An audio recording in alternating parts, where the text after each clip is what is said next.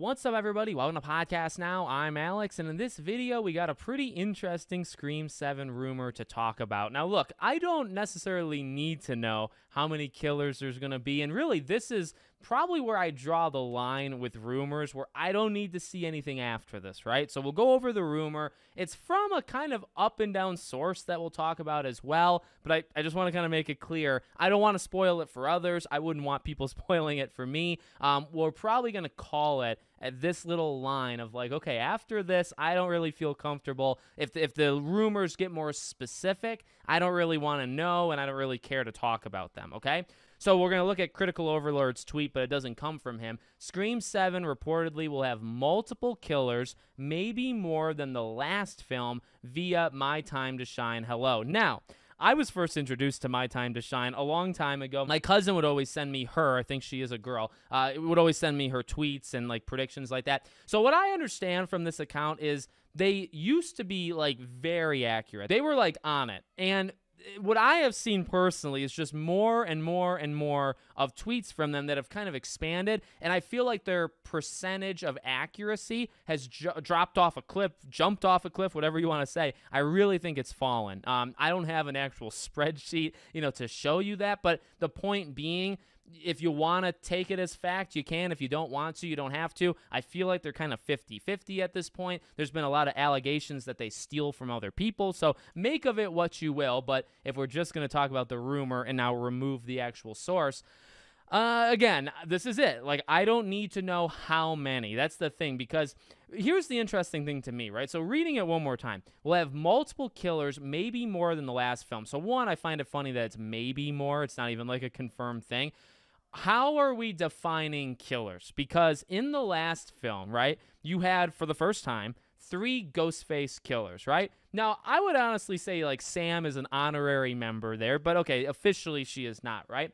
But you had those three. And then if you even want to go further, in the beginning, you kind of had two. Now, you really only had one in terms of action, but then his partner, you know, was found in the fridge. So technically, there were five killers, but it depends on like your definition because you could say four if you don't count the beginning of the movie, which maybe you wouldn't. Maybe if you're just a, a random leaker, right? Like you wouldn't consider the opening. So you might say, okay, the big reveal was that there were three Ghostface killers. So it's going to be more than three. Okay, is it more than three or is it more than five? Because those are number one different numbers. And number two i think that would change things a bit. You got to watch out for the same potential problems that you ran into with scream 6 where look when you have and people thought you know at least maybe two maybe even three killers in scream 6 we kind of thought that going in.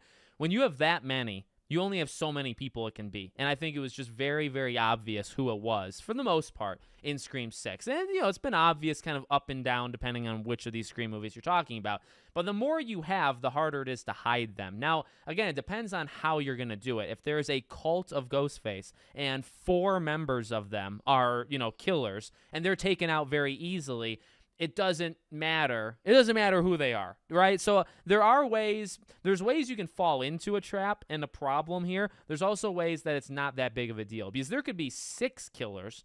Four of them can be kind of scattered throughout the movie in this weird, not who done it thing, but just it they're just killers, right? They're just like this cult where it doesn't matter. They're not trying to mask themselves or whatever. And then there's still at the end of the day two killers at the end of the movie, and those are the people that you're scanning the cast to try to figure out who they are, right?